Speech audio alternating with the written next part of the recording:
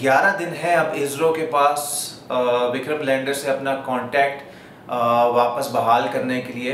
वरना lunar night जो है वो वालेकुम, नमस्ते, आदाब, सत और हेलो कैसे हैं आप सब लोग? आप देख रहे हैं रिएक्शन और अभी रिसेंटली मैंने चंद्रयान टू का जो लेटेस्ट अपडेट आया था सात सितंबर को, कि जी ऑलमोस्ट मिशन कंप्लीट है बट जो विक्रम है सिर्फ़ वो कहीं खो गया है और कांटेक्ट नहीं कर पा रहा इसरो उससे। तो जैसे ही वो सात तारीख को खबर आई, उसी दिन मैंने उस पर रिएक्शन दिया।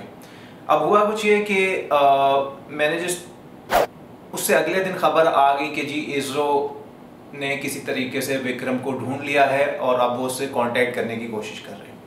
अब मैंने तो वीडियो सात सितंबर को बनाई। अगले दिन जो अपडेट आई है, वो तो बाद में आई है।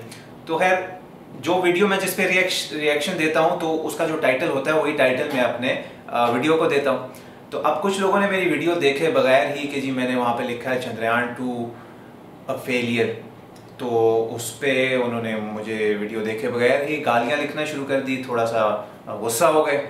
तो जिन लोगों ने देखी पूरी वीडियो, उन्होंने समझ के देखी और उसमें कोई ऐसी बात नहीं थी जिससे आप अफेंड हो जाएँ, जो हक की बात थी, मैंने सारी वही बातें वहाँ पर की। अगर आपने नहीं देखी, आप उस वीडियो को वहाँ पर देख सकते हैं। बार उस चीज़ को हम साइड पर रखते हैं। तो चंद्रयान से रिलेटेड ही आज ये वीडियो है, जो कि लेटेस्ट अपडेट है चंद्रयान की के जो विक्रम है, वो, इसरो ने उसको वहाँ पर जो ऑर्बिटर है, उसके ज़रिए उसकी इमेजेस वहाँ से ली हैं और उनको पता चल गया है कि वो किधर है, क्या है, वो सारा इसमें हमें डिटेल में बताया जाएगा। तो इस वीडियो को हम देख लेते हैं ताकि हमें, ये मैंने कुछ अच्छा चैनल जो है और ऑथेंटिक चैनल वो है, रहस्य टीवी और इनके अच्छे खासे सब्सक्राइबर्स भी हैं। आप इनको देख सकते हैं इनकी वीडियोस भी सब्सक्राइब भी कर सकते हैं। तो ये हमें थोड़ा सा समझाएँगे कि क्या बेसिकली हुआ क्या विक्रम लैंडर के साथ? मैं वीडियो देखने के बाद आपसे इस चीज़ पर डिस्कशन भी करूँगा। तो उसके लिए हमारे साथ बने रही let start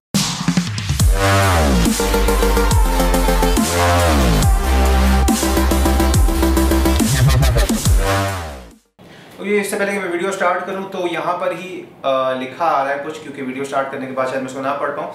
As of now ISRO has spotted Vikram lander which is 500 metre away from actual landing site कि 500 मीटर दूर है एक्चुअल लैंडिंग साइट जहाँ पर उसने लैंड करना था वहाँ से। And it is in one piece it may had a hard landing on a moon surface and may have got tilted during the landed okay कि मतलब है कि वो टिल्ट कर गया होगा लैंडिंग के दौरान और अपनी जगह पे पहुँचने के बाद बजाय कहीं टिल्ट करते करते थोड़ा सा आगे निकल गया होगा। ये उनका ख्याल है इसरो वालों का। तो more information and updates will be coming soon तो ये यहाँ पर लिखा आ रहा है। Let's start the video now ये हमने ऑलरेडी पढ़ लिया है। पॉज करके। 7 सितंबर 2019 को जब सारी दुनिया सो रही थी, तब एक देश जाग रहा था।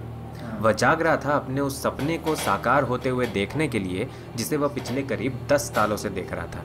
पर जब विक्रम लैंडर मून के सरफेस से महज दो दशमलव एक किलोमीटर ऊपर था तब उसका संपर्क हमसे टूट गया। Yes. और तब से यह साफ़ नहीं है कि विक्रम लैंडर का क्या हुआ। पर इसरो के वैज्ञानिक लगातार विक्रम लैंडर का पता लगाने और उससे संपर्क साधने की कोशिश में लगे हुए हैं। और हाल ही में इसरो ने चंद्रयान टू ऑर्बिटर की मदद से विक्रम लैंडर की थर्मल इमेजेस लेने में सफलता हासिल की है जो कि अपने एक्चुअल लैंडिंग साइट से करीब 500 मीटर पर मौजूद है जिसके बाद से ही इसरो लगातार विक्रम लैंडर से संपर्क जोड़ने में लगा हुआ है। पर दोस्तों क्या कारण हो सकते हैं जिनकी वजह से विक्रम लैंडर अपने एक्चुअल लैंडिंग साइट से भटक गया और उसका संपर्क हमसे टूट गया? और कितनी संभावनाएँ हैं कि हम वापस विक्रम लैंडर से संपर्क स्थापित कर लें? यह सब जानेंगे हम आज के इस एपिसोड में। तो नमस्कार दोस्तों आप देख रहे हैं रहस्य टीवी और चलिए शुरू करते हैं। दोस्तों, मैं आपको बता दूँ कि विक्रम लैंडर का लैंडिंग सीक्वेंस उसमें मौजूद कंप्यूटर में पहले से ही प्री प्रोग्राम्ड था। बस उसे पहले से ही तय दो लैंडिंग साइट्स में से किसी एक को चुनकर उस पर सॉफ्ट लैंडिंग करनी थी। अर्थात, हम उसे बेंगलुरु में मौजूद कमांड सेंटर से रियल टाइम पर कंट्रोल नहीं कर रहे थे। हम बस उसे चंद्रयान टू ऑर्बिटर की मदद से रियल टाइम पर ट्रैक कर रहे थे। जिससे यह साफ़ हो जाता है कि विक्रम लैंडर को आखिरी समय में सब कुछ खुद ही करना था। पर कुछ तकनीकी खामियों के चलते आखिरी समय में हमारा संपर्क इससे टूट गया। हम विक्रम लैंडर के रियल टाइम ग्राफ को देखकर यह पता लगा सकते हैं कि विक्रम लैंडर आखिरी समय में लैंड होने से पहले अपना रास्ता भटक गया जिसकी वजह से यह अपने एक्चुअल लैंडिंग साइट से करीब 500 मीटर दूर मौजूद था। वैज्ञानिकों का मानना है कि इसके पीछे मुख्य रूप से दो या तीन कारण मौजूद हो सकते हैं जिनके बारे में हम आगे वीडियो में चर्चा करेंगे। पहला कारण वैज्ञानिकों का मानना है कि हो सकता है कि विक्रम लैंडर के किसी इंजन ने आखिरी समय में काम करना बंद कर दिया हो जिस वजह से विक्रम लैंडर लैंडिंग के समय अपनी गति को कम करने और बैलेंस करने में असफल रहा हो। ऐसे में हो सकता है कि इसने मून के सरफेस पर क्रैश लैंडिंग की हो और उसका एंटीना टूट गया हो जिसकी वजह से वह हमसे संपर्क नहीं कर पा रहा है। दूसरा कारण वही कुछ वैज्ञानिकों का मानना है कि हो सकता है कि विक्रम लैंडर के इंजन ने ज़रूरत से ज़्यादा थ्रस्ट पैदा कर दिया हो, जिसकी वजह से इसने अपना बैलेंस खो दिया हो और वह मून के सरफेस पर क्रैश हो गया हो।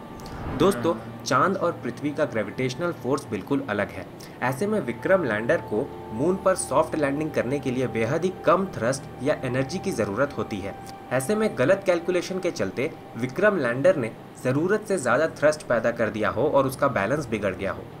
तीसरा कारण दोस्तों वहीं कुछ वैज्ञानिकों का मानना है कि हो सकता है विक्रम लैंडर में मौजूद कंप्यूटर के मैल फ़ंक्शन करने के कारण इसका संपर्क हमसे टूट गया हो और वह आखिरी समय में अपना रास्ता भटक गया हो।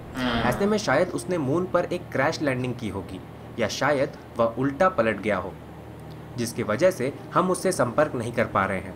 विक्रम लैंडर से संपर्क स्थापित करने के लिए हमारे पास केवल 11 दिनों का समय है क्योंकि इसके बाद आने वाले ल्यूनर नाइट के जमा देने वाले ठंड में विक्रम लैंडर का बच पाना काफ़ी मुश्किल है।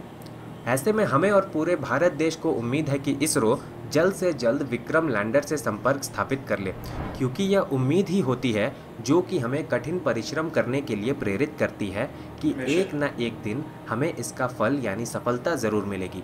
ऐसे में आपको क्या उम्मीद है हमें नीचे कमेंट कर ज़रूर बताएँ। साथ ही इसरो और विक्रम लैंडर के लिए नीचे कमेंट में ढेर सारी शुभकामनाएँ लिखना ना भूलें। अगर आपको यह वीडियो पसंद आया हो तो इसे लाइक करें। देखिए दोस्तों, अब हमने इसकी अपडेटेड वीडियो देखी है, जो कि पिछले कुछ दिनों में जितनी भी खबरें इससे रिलेटेड आई हैं और जो भी इसरो ने बताया है, वो सब इसमें मौजूद है। और मुझे लग रहा है कि ये खबर ठीक है ऑथेंटिक ही है, क्योंकि थोड़ा थोड़ा मुझे भी सोशल मीडिया पे पता चलता रहता है कि ये हो रहा है, अब ये हो रहा है। तो बेसिकली इसमें हमें यही बताया जा रहा है कि सब कुछ ठीक ठाक चल रहा था, जैसे कि आप सबको पता है, फिर ऑर्बिटर जो है अपनी जगह पे और उसमें ये है कि जो इसका विक्रम लैंडर है, वो बता रहे हैं कि इसरो ने उससे देखा है ऑर्बिटर के थ्रू कि जी वो वहाँ पहुँच तो गया है, लेकिन 500 मीटर की दूरी पर जिस जगह पे उसने जाके लैंड करना था, वहाँ से 500 मीटर की दूरी पर वो बैठा है मतलब है वहाँ पे। इसकी तीन वजह बताई जा रही हैं कि ये ये, ये शायद हो गया हो। तो उसमें यह पहला जो रीज़न बताया गया कि इसका इंजन वाला कि इंजन जो है उसमें कोई मसला हो गया और जैसे ही वहाँ पर गया हो उसका एंटीना टूट गया हो और उसकी वजह से जो उनका रबता है विक्रम लैंडर से वो ख़त्म हो गया हो। दूसरा वो थ्रस्ट वाली बात आपको बताई कि जी थ्रस्ट इंजन में कोई मसला हो जाने की वजह से या किसी भी वजह से जो है थ्रस्ट उसकी बहुत ज़्यादा हो और यही बताया जा रहा है कि थ्रस्ट ज़रूरत से ज़्यादा अगर पैदा कर दी हो शायद ये मानना है स्पेशलिस्ट का कि जी अगर ज़रूरत से ज़्यादा थ्रस्ट पैदा कर दी हो तो उसका बैलेंस बिगड़ गया हो और वो उलट गया हो या कुछ भी उसमें मसला मसाइल हो गया हो। तीसरा रीज़न ये बताया कि जो विक्रम लैंडर में मौजूद कंप्यूटर है वो मेल फ़ंक्शन कर गया हो, शायद इन सिचुएशंस की वजह से और उसका इसी वजह से जो रबता है, जो कांटेक्ट है, वो इसरो से ख़त्म हो गया। तो ये कुछ पॉसिबिलिटीज़ जो वहाँ पर स्पेशलिस्ट हैं, उनके जहन में आ रही हैं कि ये ये हो सकता है, जिस वजह से ये हो गया हो।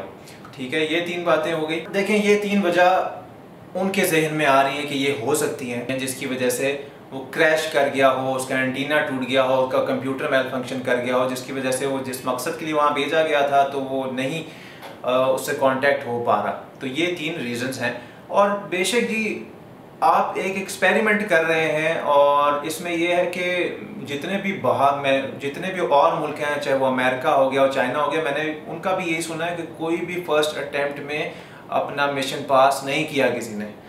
तो इंडिया ने मैंने जैसे पहले भी कहा इंडिया ने फ़र्स्ट अटेम्प्ट किया है और फिर भी 95 परसेंट अपनी कामयाबी हासिल की है। So that is a very big achievement आप फिर और वो फिर ट्राई करेंगे तो अपनी गलतियों से सीख के फिर ट्राई करेंगे तो होपफुली वो सब कुछ बेहतर हो जाएगा। कि 11 दिन है अब इसरो के पास विक्रम लैंडर से अपना कॉन्टैक्ट वापस बहाल करने के लिए।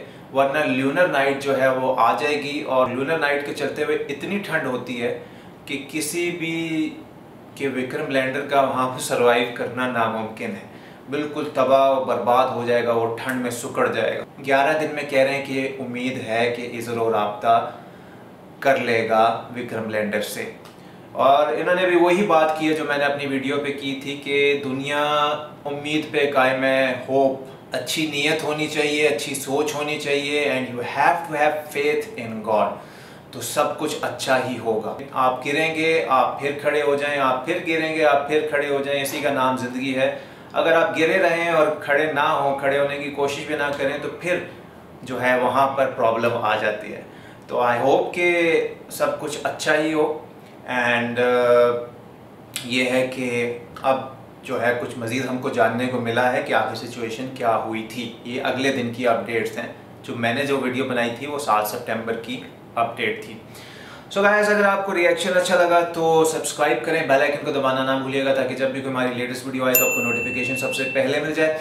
उसके अलावा इंस्टाग्राम पर मुझे फॉलो करेंगे तो उसके पर्क्स ये हैं। वीडियो आने से पहले आपको स्टोरी में पता चल जाएगा कब नई वीडियो आ रही है। डेली स्टोरीज वहाँ पर डालूँगा, वहाँ पर रिक्वेस्ट करेंगे फॉलो करने के बाद तो यहाँ से पहले वहाँ पढ़ लूँगा, यहाँ भी पढ़ूँगा, वहाँ पहले पढ़ लूँगा, और उसको पूरी करने की पूरी कोशिश करूँगा।